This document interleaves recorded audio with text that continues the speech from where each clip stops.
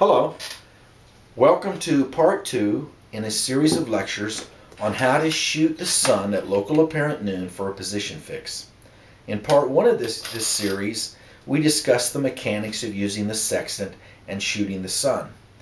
In this lecture today, I'm going to discuss with you some of the principles behind what we're doing, how it works, and why it works.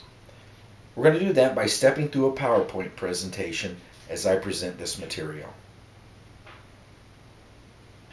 Okay, we're going to be observing the sun at local apparent noon for a position fix. My name is Chris Kreitlein, and I'm a navigation instructor with Globus Horizon. I'll be presenting this, this uh, series of lectures to you. In part one, once again, we talked about the mechanics of shooting the sun. In this part, we're going to begin our discussion of how to reduce the observation to a latitude and longitude. Now, traditionally in celestial navigation, we reduce a sight, an observation, down to a line of position. The standard method for doing this that is prevalent today, the most common and actually the easiest method, is called the intercept method using an assumed position. That is the method that I teach in my book, Simple Celestial, which is published by Globus Horizon and available at globazon.com. However, there is an alternate method, and that involves observing the sun at local apparent noon. It does not require use of sight reduction tables. The only thing you need is a, is a current nautical almanac. What are some of the tools necessary? Well, once again, you're going to need an almanac. Uh, here are two older ones. The one in orange is published by the government. The, the one in blue is published by a civilian publishing firm, and it contains the exact same material, but it's a lot cheaper. So that's obviously the one you want to buy. You're going to need one for each year. We do not need sight reduction tables, and that saves us a lot of problems, a lot of work. You are going to need a digital watch set to universal time, and we'll talk about that later. You need a good form to work with. This form is our noon sight form for the sun at local apparent noon. I'll discuss this form in depth as we go along. This form is available for you to download for free at globazon.com. You're going to need a calculator and one that works with degrees. These are available for about $14 from Walmart. Of course, we're going to need plotting tools, divider, parallel rulers, and a universal plotting sheet to plot the results of our fix. Now, as I mentioned before, the standard method for doing celestial navigation used by professional navigators is the intercept method with an assumed position. You observe heavenly bodies for a position fix. This, this method is very versatile. There's 57 stars you can use, four planets, the sun and the moon. Uh, and you can use them, the sun and the moon, of course, during any time you can see them. The stars at dusk, at what we call civil twilight in the evening or in the morning as they're visible, as long as you have a horizon that you can use. This method solves what's called the celestial navigation triangle. It's a little difficult to learn how to do this, and it takes about 45 minutes to work through a sight. But it does produce, or it can produce, if you do it right, a very excellent fix. And as I mentioned, this is the way professional navigators determine their position using the stars, the sun, or the planets. Now, the sun at noon is a little bit different. You only use the sun.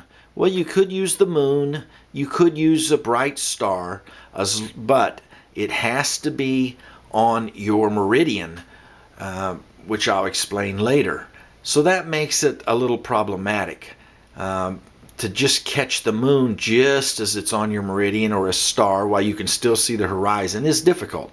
The sun, however, as long as you can see the sun in the horizon at your local noontime, then um, you can use it. Uh, there's no celestial navigation triangle to solve, so you save yourself that hassle. Uh, this method is relatively short, quick, and easy, and it generally produces an, a, an acceptable position fix. Now, as we start here, we need to go through some nautical astronomy. First thing uh, we have here is the Earth with some meridian lines laid out. These are meridian lines of longitude, stretching uh, from the pole to the pole around the Earth. Now, the Sun crosses these lines, these meridian lines, as it arcs across the sky during the day, and it does so at 15 degrees of longitude each hour. This is a critical phenomenon for celestial navigation. It's really what makes celestial navigation by the sun possible. That the sun conducts this very steady transit across the sky at 15 degrees per hour. You'll see how we use that later on.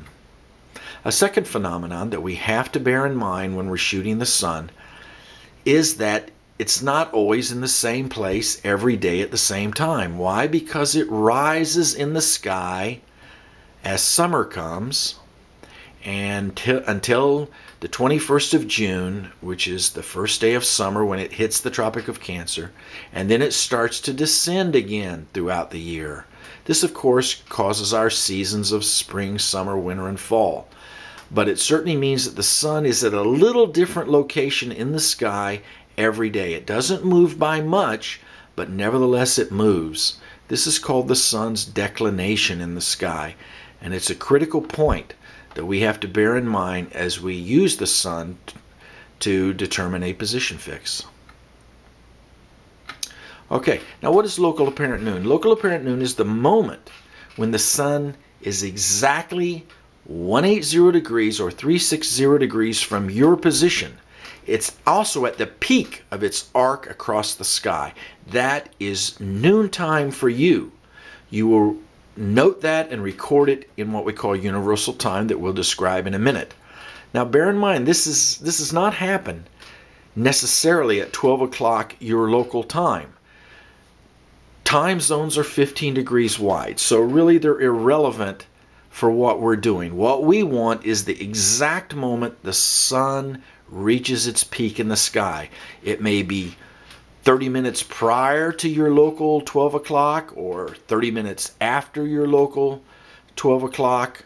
Uh, it all depends on your exact position. So for us, local apparent noon is when the sun hits that point highest in the sky for the day, and it'll be either 180 or 360 from your position. As we see graphically here from this sailboat, the sun is exactly 180 degrees south of this sailboat at its highest point in the sky for the day. That is local apparent noon. Now, what I said you have to record it in universal time. Well, universal time used to be called Greenwich Mean Time, and it's based upon the sun's passage over the Greenwich Meridian, the meridian that passes through Greenwich, England. That meridian, of course, is zero degrees longitude and also has the name of prime meridian, the prime meridian. That local apparent noon at the prime meridian, of course, is when the sun is directly uh, 180 degrees from the Greenwich Observatory. Now, this isn't all the entries in the Nautical Almanac, of course, are recorded in universal time so that they can be used by anyone anywhere in the world. So, in order to use the Nautical Almanac, you've got to have some method of knowing universal time in order to make sense of the Nautical Almanac. You have to have a chronometer on board set to universal time. We never really talk about local time in navigation Eastern Standard Time, Central Standard Time really are irrelevant to us. What we talk is universal time. Now, what is universal time? Once again, it's when the sun or the sun's relationship to the prime meridian. 12 o'clock universal time is when the sun is right over top of the prime meridian. That would be 12 o'clock universal time. Now, how do you know universal time in your little sailboat? Well, you buy a simple digital watch from Walmart or Kmart or wherever and set it to universal time. I'd recommend having a couple of them on board in case one of them fails. But keep this watch tuned to universal time, set on universal time. Another way is to have a shortwave radio on board. You can turn in certain, tune in certain frequencies and it gives you a time check of exactly the coordinated universal time at that very second. Okay, so another term that we need to be aware of is what's called Greenwich hour angle. It's the number of degrees you or anything else is west of the prime meridian. It's only measured westward from the prime meridian, so therefore it goes from 000 to 359 degrees west. 090 west longitude would have a Greenwich hour angle of 090. 175 east longitude would have a GHA of 185. Why? Because you're only measuring westward. That's understood that it's measured to the west. Entries in the Nautical Almanac are listed in their Greenwich hour angle not in longitude. That's why we have to understand Greenwich hour angle. Graphically, we can look at it this way. Here we have a sailboat at 060 degrees west longitude. That all that means it's at Greenwich hour angle of 60 degrees. All right, from Greenwich. In the other direction, we have Greenwich here, and we have a sailboat 060 degrees east longitude, and that would correspond to having a GHA of 300. Okay, equation of time. Well, we're going to cover that in part three. So please tune in for part three of this lecture series.